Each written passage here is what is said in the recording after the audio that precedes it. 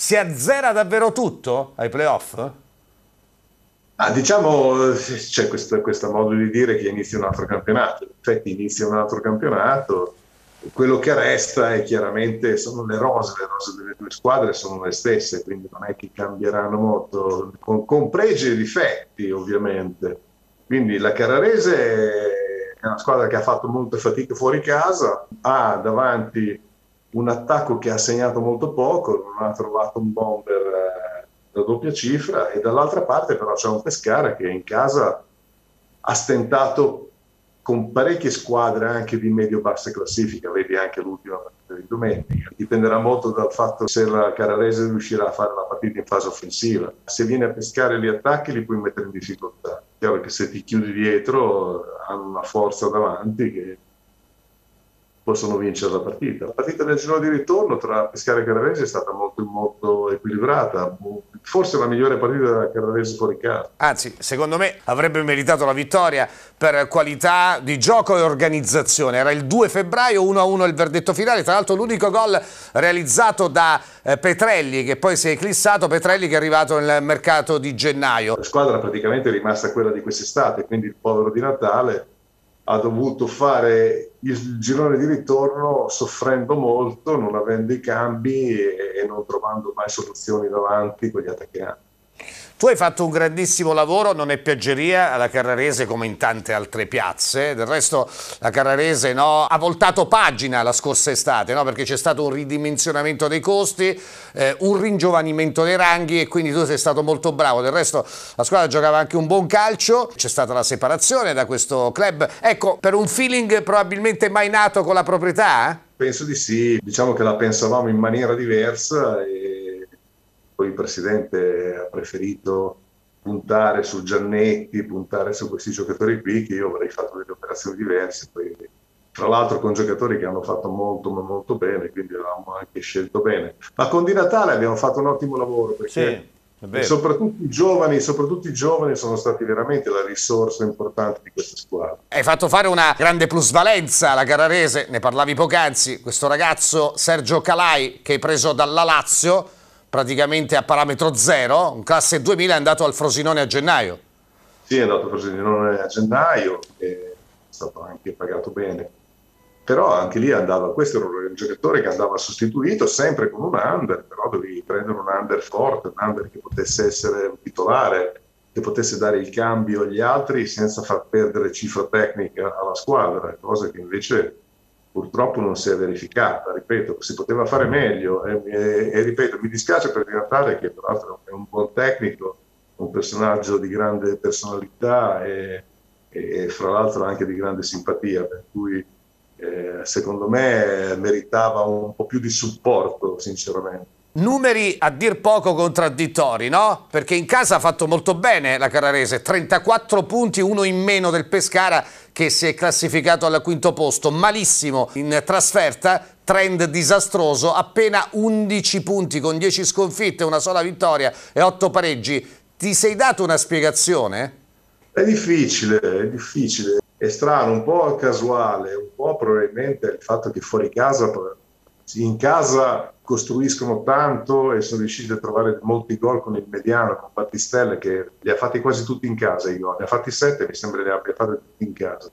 Fuori casa evidentemente si doveva giocare un pochino più compatti e trovare qualche gol con gli attaccanti, anche a livello individuale qualcuno si doveva inventare qualcosa.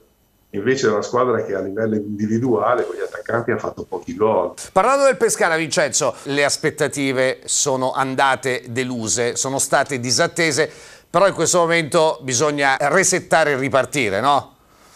Beh, indubbiamente, adesso Pescara comunque ha sempre delle grandi potenzialità, eh, è chiaro che cioè, è, è, una squadra che evidentemente ha subito tanti gol e continua a essere un po' distratta in fase difensiva, per cui questa, questa è una pecca, una pecca grave di correre ripari, due gol in casa con la con, con l'Imolese, una partita che ti può portare veramente un, uh, enormi vantaggi, perché sembra, sembra, magari da fuori uno dice quarto, quinto, terzo, quarto, quinto, cambia poco, non è così. Se tu in una partita così sei, sei così blando, sei così distratto, evidentemente ce l'hai un pochino nel DNA. Correre ripari adesso non è facile. Troppo poco tempo, a mio avviso, non so se sei d'accordo, per giudicare il lavoro di Zauri. L'errore di Auteri è stato secondo te quello di snaturarsi da un certo momento in poi? Sono arrivati dei giocatori funzionali al suo 3-4-3, mi riferisco a gennaio, i due centrocampisti.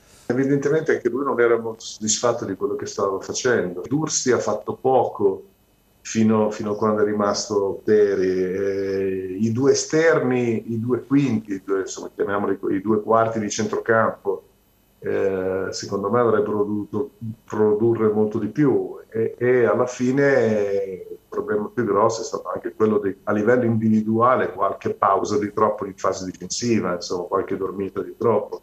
Io credo che l'allenatore Auteri abbia tirato fuori un po' il massimo da questa squadra Adesso a Zauri ci sarà, il lavoro di Zauri sarà quello di ripulirlo un po' mentalmente per cercare di affrontare questi playoff con un piglio, una determinazione diversa, si riusciranno a trovare dentro di loro queste caratteristiche che per tutto il campionato non ho visto. Che partita dobbiamo aspettarci Vincenzo? Perché è chiaro che il Pescara eh, è un vantaggio, no? eh, può giocare per due risultati su tre, ma non si può eh, cullare su, su, questo aspetto. È un vantaggio, ma potrebbe anche essere un limite. Mm. Cioè, se, se, se, uno pensa col pareggio passo, poi alla fine rischia di non giocarla la partita. Invece, secondo me, il Pescara la deve giocare perché la forza del Pescara probabilmente è la fase offensiva, deve cercare di fare gol eh, non, non, si deve sedere su, sul fatto che poi alla fine il, il vantaggio di, che con due risultati passi è un vantaggio enorme, più, più di quello di, del fatto di giocare in casa.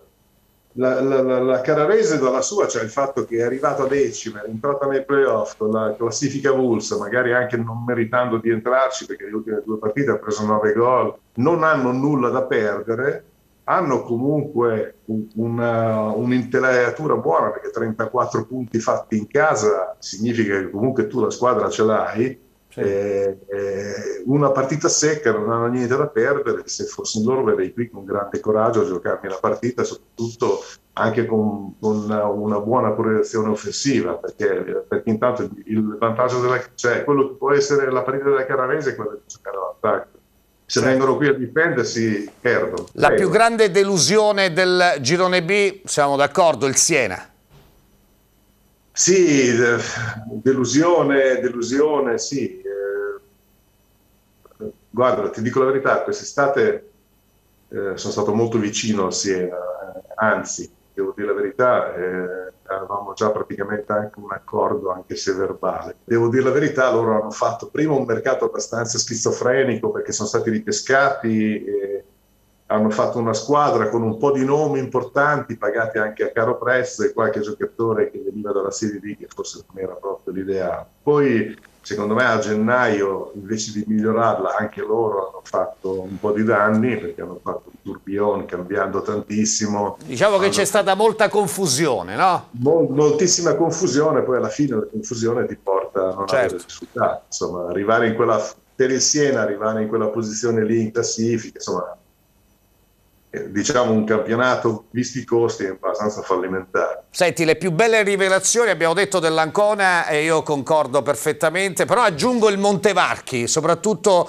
per le ambizioni che poteva avere il Montevarchi, eh, ovvero la salvezza, quindi ha fatto un campionato al di sopra delle sue reali possibilità. Ah, sono d'accordo con te, il Montevarchi è stato sorprendente. Poi devo dire la verità, giocavano anche un calcio brillante esatto. e hanno messo in mostra anche degli, dei giocatori che venivano dalla Serie D, eh, che hanno fatto molto bene. Questo per, per, per, rimarcare ancora di più il fatto che in Serie D bisogna pescare. Visto che abbiamo allargato gli orizzonti, davvero l'ultimissima, Zeman Prego. eterno Beh, Zeman poi eh, è una squadra, il Foggia è stato anche un po' penalizzato perché questa situazione assurda del Catania, assurda veramente, eh, perché è veramente, ci hanno messo di tutto, tutti di tutto per, per, per, per fare, per uh, fare diventare un campionato anomalo il, il girone C, perché Catania andava fermato prima, quindi il Foggia è stato penalizzato perché gli sono stati tolti tanti punti, però poi hanno reagito bene, domenica hanno battuto l'Avellino e il Foggia è un'altra mina vagante. Se loro indovinano la partita, loro possono fare, possono far male personaggi come Zeman fanno sempre bene al calcio, no? Perché se si parla di meritocrazia, visto che il discorso era questo, mi pare che sia l'emblema di quello che Beh, stavamo dicendo. Se si parla di calcio, queste sono persone che sono, eh, indiscutibilmente eh, dovrebbero continuare a farlo finché lui ne ha voglia, eh, è un maestro di, da questo punto di vista.